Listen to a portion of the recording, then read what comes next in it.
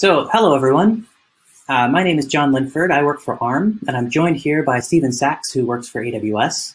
And today we're going to talk about how you can characterize HPC workload performance on the AWS Graviton 2 platform. So the outline of our talk today, um, I'll take five minutes to introduce the idea of high performance computing, HPC, um, and sort of level set on what it is we mean when we're talking about HPC or supercomputing. Um, Stefan will give us an overview of AWS Graviton 2 and how it can be used for high performance computing workloads. And then we'll switch back um, and I will talk about how we can characterize HPC application performance in general and specifically some of the works that we, some of the work we've done on the Graviton 2 for HPC, and we'll show some performance results from a handful of key workloads um, running on the Graviton 2.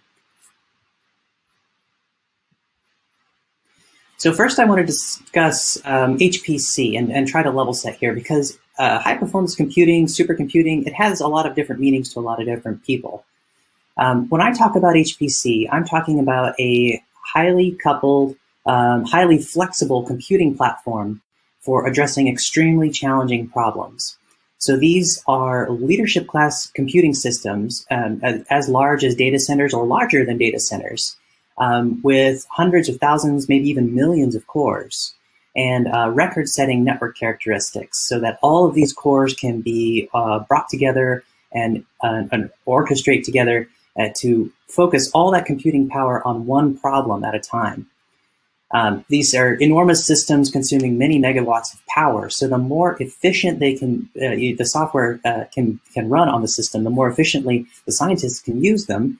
Um, the more science you can get done on the same budget, uh, the faster you can get your results. So performance engineering and tuning applications for the platform uh, is a key part of HPC because you really need to operate as close to maximum efficiency as possible. Um, now, a key difference between um, a supercomputing and, uh, and a uh, data center is that HPC, center, HPC systems tend to operate as one system. So data centers will usually try to address throughput and, and serve many different users simultaneously. Um, supercomputers, especially on-prem supercomputers, tend to be dedicated to a small number of jobs at once. Now, the interesting thing is that this distinction between supercomputer and data center has really started to blur and is becoming less relevant over time. Um, we are seeing data centers with um, networking capabilities and orchestration capabilities that are, uh, are matching or maybe even exceeding what are available on on-prem supercomputers. And so HPC in the cloud is becoming a very viable and a very attractive option over uh, on-prem HPC. Now, some things that you typically see in a, in a HPC environment. Uh, your operating system is pretty much always Linux. Um, the, the one exception here might be financial markets where they do use Windows in HPC environments, but most people will be using uh, Linux. Once upon a time, there was a Mac OS HPC system, but generally speaking, it's going to be RHEL or SLES or Debian. On AWS, you have Amazon Linux, um, which can also be used for HPC workloads. Um, you also find support for legacy software, things like uh, codes written in Fortran that may be 20 or even 30 years old, um, which for various reasons can't be rewritten. These codes need to be able to operate in that system. So you find Fortran compilers um, and support for very old programming methodologies and paradigms. Um, you also typically have access to the system through a queue. Now, remember that the idea behind a supercomputer is to take all the processing power and focus it on one problem at a time. And that means that usually only one or two, maybe a few users will be on the system at a time. And so if you want to use the system, you have to get into a queue and, and wait your turn. This is where cloud computing really stands out because if you have an on-prem supercomputer and someone has already taken over the system to run their jobs, you can wait sometimes many days or even weeks to get your workload even started on that system. HPC in the cloud, because there is such an enormous amount of computing resource there, allows you to carve off a piece of the cloud and use it like a supercomputer um, and immediately start your jobs rather than waiting. So this is another attractive um, option for, for the cloud is that you still use the queue system, but you're allowed to set up your own queue in a sense and get quick, get to work faster. Um, we're also seeing Python is rapidly becoming a mainstream computing language for HPC. Generally, Python is used to tie together different uh, low-level tuned kernels, math libraries, and things, but it provides a high-level language to express the problem. Um, containers are also rapidly becoming a thing in, in, HPC. For a while, they were they were disregarded, but recently, um, research uh, had, have um, made large strides in in improving container efficiency and security, and this has made them very attractive to HPC users. Some things you generally won't see in HPC today include Java, Ruby, Rust, um, any kind of language that emphasizes productivity over performance, because it's a high performance computer. We really are emphasizing the performance aspect of the system. This is the sort of software landscape that we're looking at when, when we move to HPC. Now, how about ARM? Well, ARM is not uh, is, is, a relative newcomer to the HPC space. Uh, starting in about 2018, ARM announced the Neoverse line of server-class CPUs. And off the back of that announcement, we've had a number of key wins in the HPC space. So um, NVIDIA have announced that their CUDA software stack is fully supported on ARM as a, you know, call it a first-class citizen, so alongside x86 and Power. So if you have an NVIDIA GPU, you can plug it into an ARM host and just get started with CUDA. And that enables a number of, of HPC machine learning data processing workloads that can use GPUs to accelerate the, the results. Um, now, in, uh, in uh, shortly after that, our, AWS announced the Graviton 2 server CPU. Now, this is off the back of the very successful Graviton 1. Graviton 2 brings further performance improvements, which Stephen will detail in a moment. Now, over the most recent thing to happen for ARM and HPC is that currently the fastest supercomputer in the world, according to the HPL benchmark, is the Fujitsu Fugaku system at RIKEN in Japan. Fugaku implements the ARM architecture. So the fastest supercomputer in the world is using the ARM instruction set architecture on a custom Fujitsu microarchitecture. And I think that really demonstrates the power of, of ARM as a platform for HPC, the ability to quickly bring uh, software solutions to the space. So it's very exciting times for us. So now I'd like to turn it over to Stephen so he can uh, talk about the Graviton 2 and discuss uh, how you can use the Graviton 2 for HPC. Thanks, John. Um, so I'd like to show you what um, our ARM-based instances look like and what you need to build your own ARM-based uh, uh, HPC cluster in the cloud. So at reInvent 2018, and for those who don't know, that is our annual AWS Developer Conference. We launched our first ever uh, ARM instance powered by the Graviton processors. Um, these featured the ARM Neoverse cores and contained up to 16 cores and 32 gigabytes of RAM per instance. Um, these were our first ever ARM server processors and are built on top of the AWS Nitro system. So this system offloads many of the traditional virtualization functions to dedicated hardware. Um, this hardware offload uh, delivers practically all of the compute and memory resources uh, of the host hardware to your instances for better performance and scalability. Now these instances uh, deliver significant cost savings over other general purpose instances for scale out workloads, such as web servers or containerized microservices or data or log processing. Um, basically anything that can uh, work with a small memory footprint and not so beefy cores. So not exactly HPC. Now, one year later at uh, reInvent 2019, we announced our second generation uh, instances powered by ARM processors. Uh, the Graviton 2 delivers a major leap in performance and uh, capabilities over that first generation, uh, they provide up to 40% better price performance over comparable x86-based instances for a wide variety of workloads. And John will show you what this means for HPC.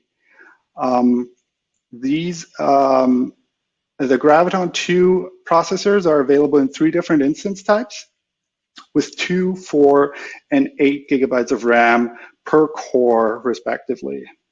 Now, these instances contain up to 64 cores, are enhanced networks, enhanced networking enabled and have higher storage throughput than their predecessors. Now, how do you use those for HPC? Well, the Graviton2 based instances are available in our HPC tools like Parallel Cluster or AWS Batch. And these tools are used to create a familiar environment for HPC users and um, while leveraging the uh, cloud resources for the compute and the storage needs. Um, the compute resources only get provisioned when the jobs are placed into the queue.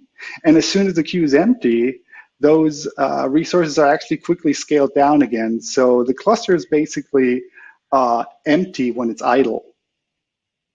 Another major differentiator um, of the uh, cloud HPC is that you can uh, tune and adapt your um, compute environment to your application, and you can do that on a per application basis. So once you've selected the right uh, instance type for your application, you can also select the right storage. Like uh, if you say you want parallel uh, Lustre file system, or if you want local disk or an object storage, you can tune and um, and make that the right size uh, for your application needs. Now let's take parallel cluster as an example. Uh, once you've selected uh, the, uh, the hardware that you're running on, you, are, uh, you can mix and match that with uh, a choice of operating systems. In this case, uh, Amazon Linux or Ubuntu. you can mix and match that with different HPC schedulers, such as Slurm or Torque or AWS Batch, and different pre-installed software components. So for example, DCV for remote visualization. And once you hit play on that cluster, you will be presented with a familiar integrated cluster environment with a shared file system, with modules environment pre-installed, with uh, the scheduler up and running, and all the HPC configurations uh, where you can go ahead, install and run your applications using even the same uh, scheduler scripts and the same workflows that you produce in your on-prem environment. Um, you can also use any of the performance tools that John's going to mention later. Now, how do you um, actually take care of all of this? How do you, uh, as I said, the cluster will uh, scale by itself up and down, um, but you still have full control of uh, your uh, of your um, um of, of the resources that you have provisioned. So uh, you can either do that through a command line interface, or you can do that uh, via a web console.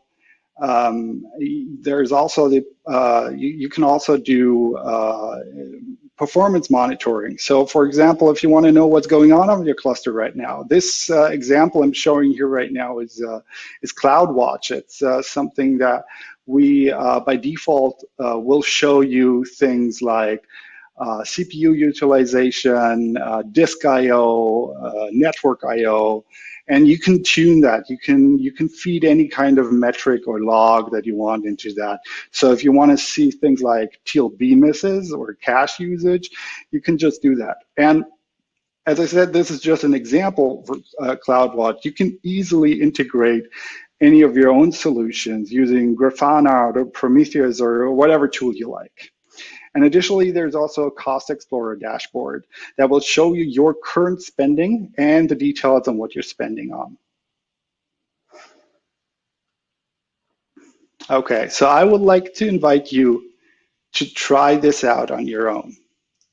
Go to hpcworkshops.com and start building your own ARM HPC cluster in the cloud. So that's a step-by-step self-paced workshop that will guide you through building your first HPC cluster. You can select any of the Graviton2 based instances that I mentioned before, add parallel file systems, remote visualization, and more.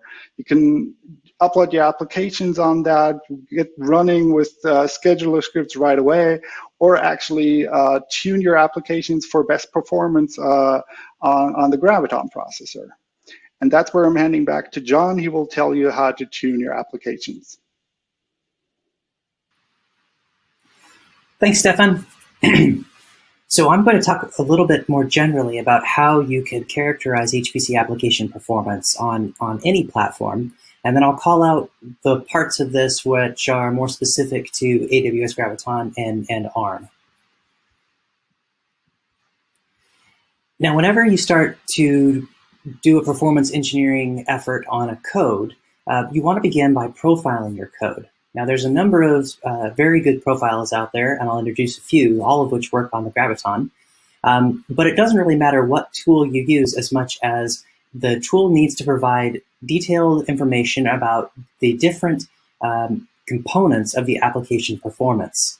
So these might be the time that the application spends in file I.O., or the time it spends in communication or memory, um, or the time it spends in the compute. Now, do an initial profile of your code, usually a high level profile. It doesn't have to be very detailed, and you want it to have minimum overhead. And then look at what are the hotspots in that profile. Is the application spending a lot of time in file I.O., for instance?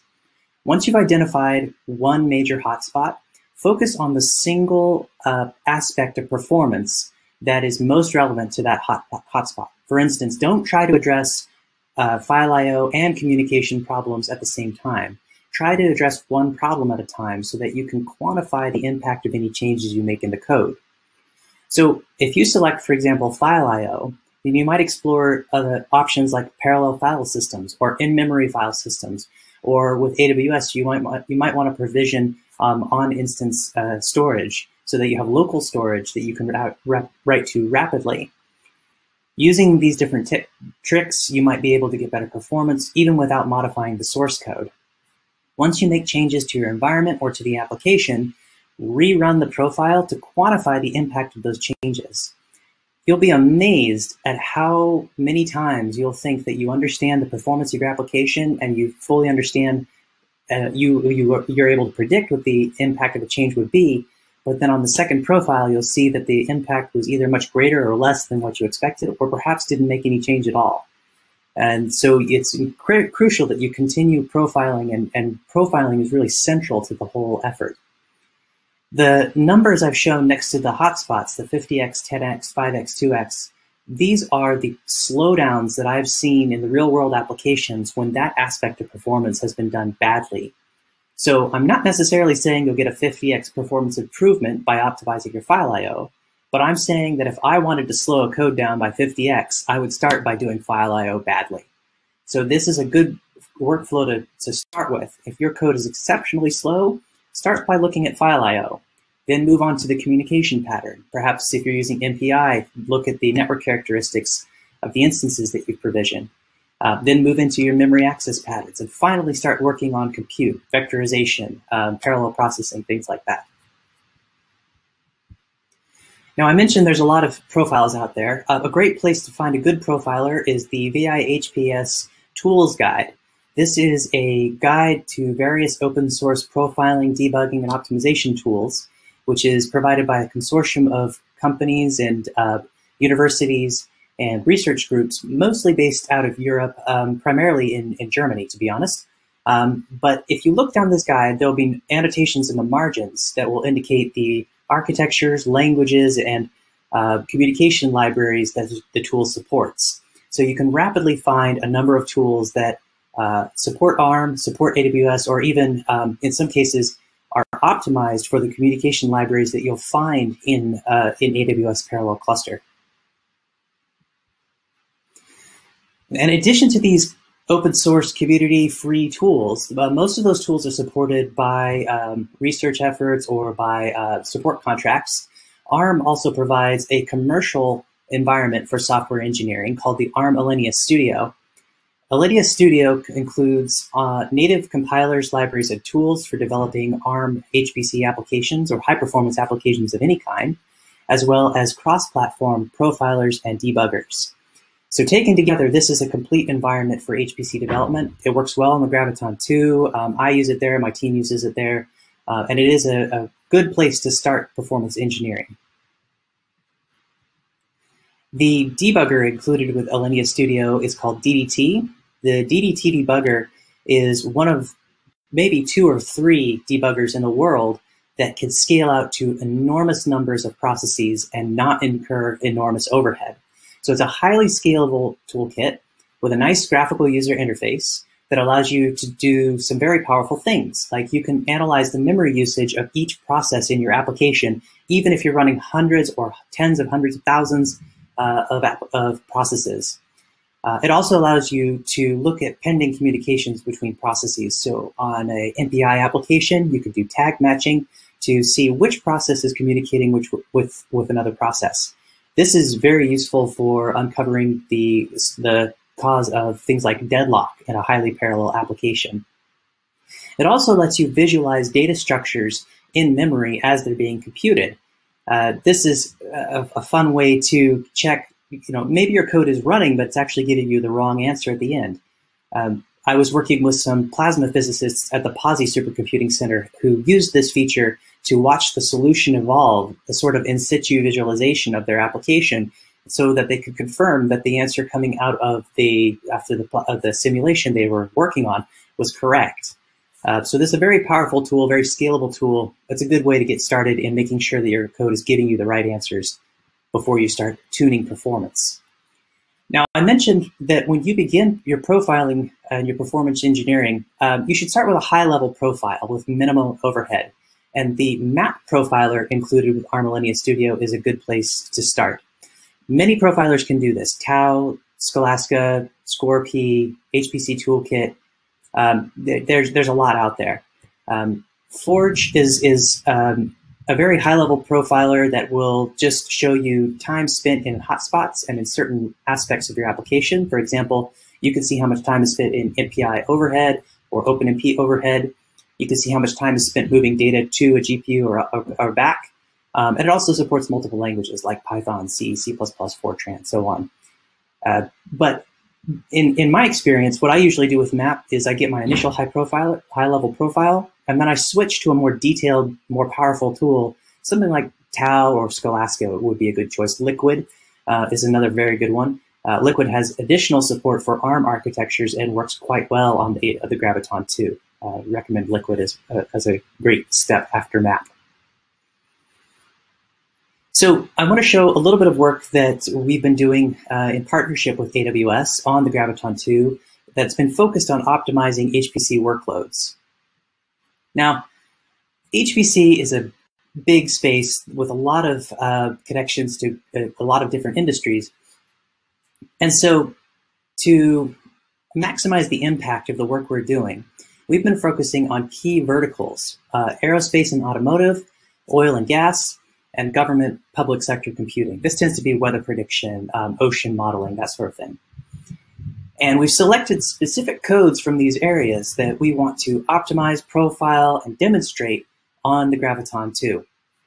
So I'll show you a few results from these applications. First, uh, a computational fluid dynamics code. This work was done in part uh, with AWS. It appeared in the keynote presentation of the OpenFOAM conference uh, held virtually in Annapolis back in June. And you can read all about it on Amazon's blog here at aws.amazon.com. You see the URL. And we ran the OpenFOAM simulation on x86 platforms and also the Graviton 2 platform. What we found is that the runtime of the Graviton 2 is approximately the same uh, as the x86, and in some cases it's better than the x86, but the price of the, the Graviton 2 instance is so much more competitive than the x86 that the cost of your simulation is greatly reduced. Now, this is very exciting news for commercial commodity um, uh, HPC users such as uh, Formula One, aerospace, uh, uh, uh people who design pumps, uh, you know, any kind of um, any, any, kind of application that needs to do computational fluid dynamics or modeling um, and needs to do it on a budget. So we've seen a lot of interest in this work as it's a really powerful proof point demonstrating the cost per uh, simulation can be quite low with the Graviton 2. Another example, uh, this is from the government and public sector computing.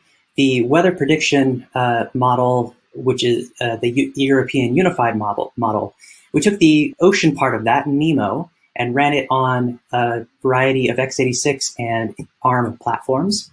We found that for this particular uh, simulation, ARM was faster in all cases. It was also cheaper in all cases.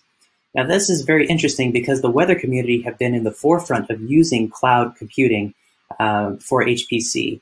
And so they're very interested in being able to rapidly scale out hurricane simulations or uh, any kind of situation that needs a, a an answer quickly.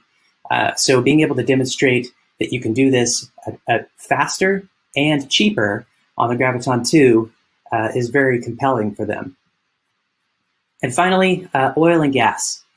Um, we look a, took a look at uh, seismic, mo seismic modeling with SPECFEM 3D on AWS Graviton 2, and we see that not only is the code running uh, competitively with x86 and uh, more affordably, uh, it is also scaling very well. So you'll, recall that I said one of the distinctions between a supercomputer and a data center is the supercomputer tends to have uh, a network that allows you to treat the system as one. We're seeing that that's no longer a fair distinction when comparing supercomputers and data centers. In fact, the data centers, they're just as powerful when it comes to scale out computing that involves taking the same application and running it on a large number of cores. So we're very excited by this result, and I think it's very compelling that we can do seismic modeling in the cloud um, cheaper and faster than what some of the uh, oil and gas users have on-prem. Now, again, I want to encourage you to visit hpcworkshops.com. Just as Stefan said, this is an excellent resource for getting started with Parallel Cluster rapidly, and it will let you play around with the tool and start your uh, performance engineering workload on your own codes um, right out of the box. So do please have a look there. With that, I want to thank you for attending our talk.